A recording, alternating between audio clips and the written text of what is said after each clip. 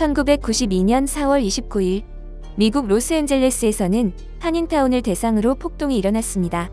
당시 한국인 이민자들의 가게를 갈취하기 위해 강도로 변한 폭도들이 대거 침범했고 그들은 마치 쇼핑하듯이 물건들을 훔치고 닥치는 대로 부수며 불까지 질렀습니다. 그런데 얼마 후 전쟁터를 방불케 하는 거리에 총을 든 한국인들이 하나둘 나타났습니다. 특전사 출신, 해병 전후에 군대를 갔다 온 예비군이라면 누구나 하나 둘씩 집결해 가족과 일터를 지키기 위한 전투에 돌입합니다. 생명의 위협을 느낄 만큼 험악한 폭동 속에서도 총을 들고 지키는 한인들의 모습에 폭도들은 더 이상 접근할 수 없었다고 합니다. 이들이 들고 나온 무기는 실제 민수용으로 판매되던 AR-15과 AK-계열 화기, 그리고 우지가 사용되었죠. 그 중에서도 수출형 민수용 K1 기관단총을 사용하는 사진이 매우 유명세를 탔는데요. 사진 속에 한국인들이 들고 있는 K1은 90년대 미국에 수출되던 K1A였습니다. K2 소총처럼 민수용 버전 K1이 발매되어 총기 수입 업체들을 통해 미국 시장에 진출한 것이었죠. 민수용 K1은 K2와 함께 북미에서 희귀한 총을 모으는 컬렉터들에게 인기를 얻으며 현재는 레어 아이템으로서 상당히 높은 가격에 거래되고 있습니다.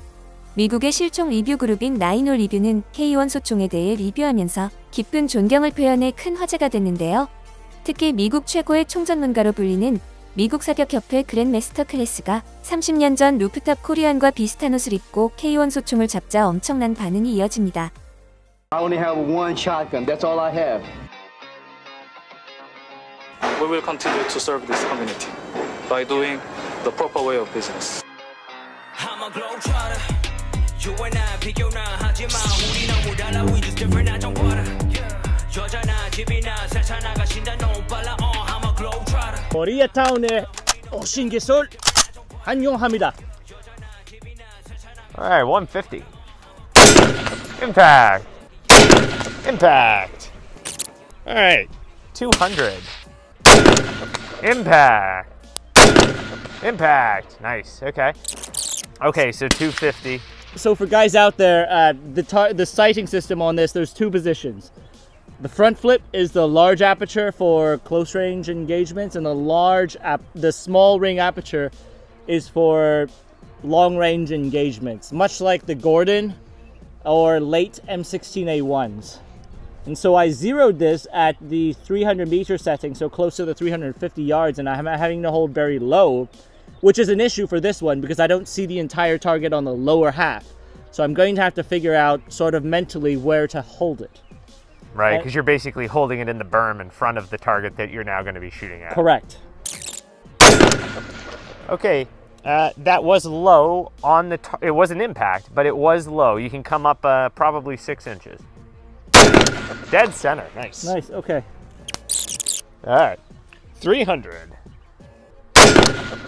Uh, that just sailed over his head. Mm, quarter target high.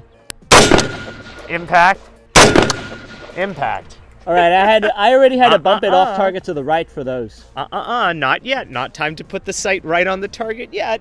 Yeah. That's what happened on that first shot, wasn't it? Yeah, I, I, I figured 300 and 350 were pretty close. So I basically just sat it sat the sight onto the chest level and it, it went over. Yep. All right, 350. You know, the elevation looked good. It was just off the right. And just off the left. Uh, that one was a little bit on the low side. Impact. Upper chest. Dead center. Impact. All right. I mean, in all fairness, you're doing okay so far. I mean, yeah. A couple So misses, far, let's but- not speak too soon. This is I mean, in all fairness too, like you're saying 350 meters or 300 meters, 350 yards. This is regular. This encompasses already most of your combat engagements Yep. uh, that you would be looking at to, to begin with. I only see a speck of white, knowing that it, that is the head position, and I'm going to try to place it uh, right where that head position is to see if uh, basically a head hold would land my shots at the chest or belly area at 400 uh, yards. Okay, let's do it. Impact low, lo- right on the bottom edge. If you can give it a tiny more, give it a tiny more. nice, dude. Are you serious? Yes. Okay. 450. Impact. Perfect. Another. Impact. No. Bro, no. No. what? No. Uh-uh. Ah, Uh-uh. 500.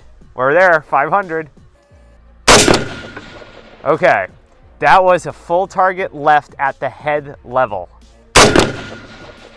Okay. Uh, you're much closer.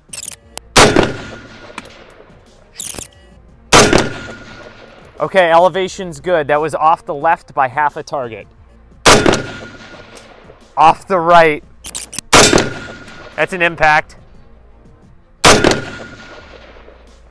Just over the right shoulder. Okay, all right, all right. That one was high by uh, two thirds of a target on the right edge. Just short. Mm. That's it. Got it.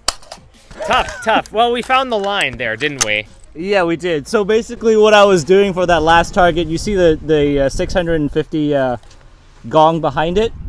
That 650 gong right behind it was where I was placing the elevation for it. Wow. Once I figured that out, I was using the edge of my front sight as a reference point because that one target is off to the left of the 500 Yes. yard target. And by using, basically, I was aiming at the 650, using that as a correlation to where I was dropping the rounds to the 500 by using Josh as a uh, forward observer. What I think was a shocking run for us because Henry, I know when you and I sat down on this, neither of us thought that this thing was going to clear the course in the number of rounds. Like I, think we both thought that this was either going to be a fail or high 30s in terms of round count if it passed. And there you were, like stacking them up out to 450. No, I, I didn't expect it. I mean, you know, I didn't expect it because I was I when you suggested for me to just shoot the K one on the course. I mean, my face to you was a whiskey tango foxtrot type of type of ex- expression to Josh.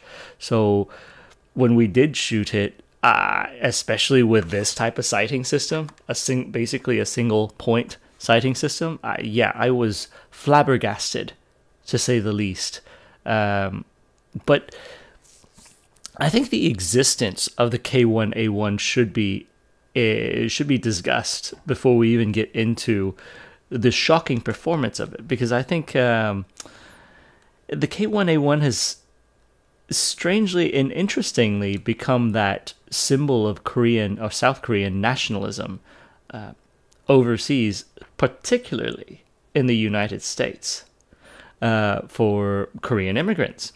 Uh, rightfully so. I think it's a it's a pretty nicely it's a pretty decently designed uh, rifle, and uh, we will get into the categories of rifle and submachine gun, but um, it doesn't have any reliability issues. It can shrink to a really short package. The K1A1 was initially designed as a submachine gun. And you know, it was a 10.5 barrel to begin with, as the Korean military adopted it. And so um, overseas, it, it had seen use in the Korean military, but specifically the K1A1 was an export model to the US. So they had to lengthen the barrel to 16 inches and put the flash hider all the way out here. Uh, but this was also during the 80s when it was being made, and uh, the Koreans back then were not shy in making a few bucks on the civilian firearms market. And so they were competing with, let's say, the mainland Chinese, Norinco, and, and some of those guys. But they had a product right here that used the American cartridge that was domestically produced. Uh, it was more expensive uh, back then to buy than, let's say, like a Type 56 but to the Korean shop owners, let's say in LA or you know all around America, they wanted some of them wanted to buy the indigenous South Korean rifle, and rightfully so, and it is a very well designed rifle. But on the fateful day, uh, on the LA riots, the K1A1 found its way to the rooftops in defense of some of those Korean businesses, and um, and so forever red polo shirt holding the K1A1. Uh, meme wise, it has just spread like wildfire. That's just become a symbol for a lot of Korean diaspora. You know, Henry, what I would add to that, the roof Korean sort of, you know, uh, concept, that I, I would argue s- spreads beyond, at least in the US today, it spreads beyond the, the just Korean culture.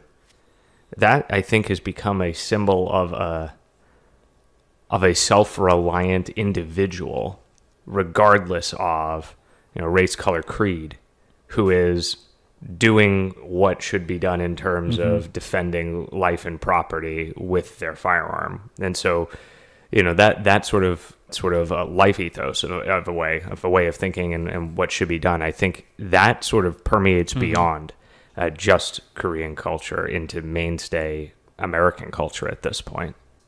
how can we put this? It's a it's a stubborn Americanism hmm. of self-reliance is what this is. Very impressed with the Roof Korean special, the K1A1.